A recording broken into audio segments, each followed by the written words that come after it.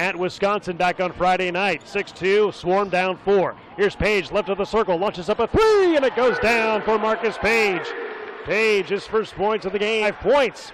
And the Red Claws lead is up back up to seven, 23 16. Swarm ball. Here's Wilkins, right elbow, driving down the lane. Left handed shot off the glass, counted and one.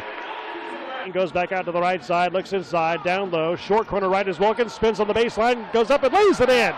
Wow, what a shot down low by Damien Wilkins, down, making it up to 52 to 50. 10:35 to go in the third quarter. They lob it inside, down low to Wilkins, layup off the glass, and good for Damien Wilkins. He's in double figures now with 11. And Wilkins has it down low, short corner right. He's to by Allen.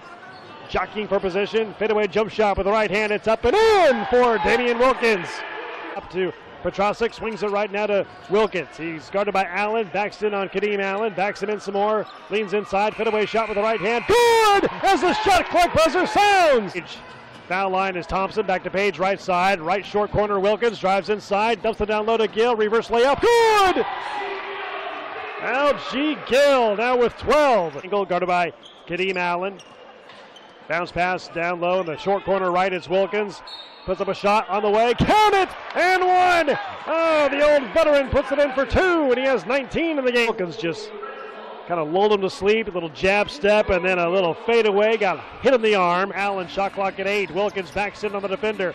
Turnaround shot with the right hand, fading away, bouncing around, and goes in! Oh, he got the plague to go down. He wanted a foul called. He doesn't get it.